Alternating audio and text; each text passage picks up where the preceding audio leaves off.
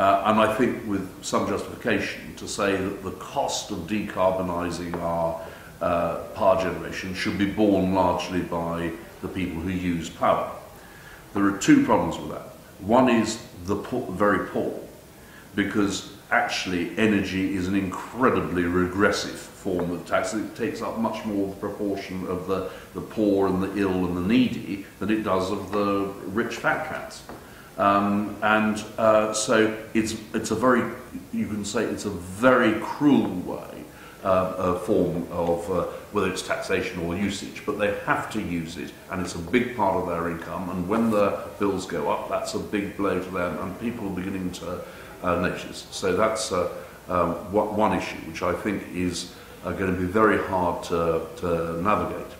And I think that uh, the governments are going to be ha have, to be very um, measured in how they do this because the talk of electricity bills going up and fat cats and all, all this actually is A, wrong, B, actually it's because of political decisions that were taken by the last Labour government um, and, and subsequently to implement um, uh, the recovery of the cost of the um, uh, green transition through the bills.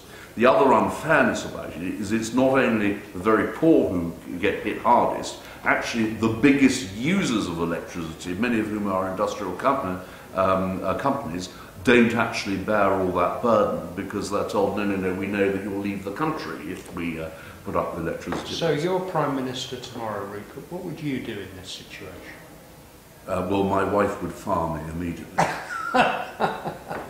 I don't. It's it's a very. I'm not. I'm not a politician. It's a very profoundly difficult si uh, situation, and there is a there is a good uh, phrase I heard the other day, is that there are many complicated issues to which there are simple answers that are wrong. Now, actually, complicated issues tend to have complicated answers.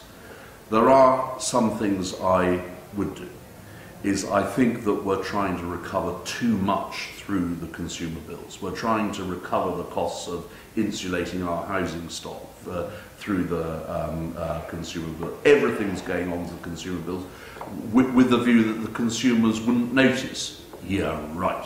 They wouldn't notice. You, you know, I know, my electricity bill's almost doubled. Uh, and um, so, of course, people are going to uh, uh, uh notice. Secondly, I think that the rate at which we're trying to decarbonise our power generation uh, is much faster than it needs to be. Now, to some extent, that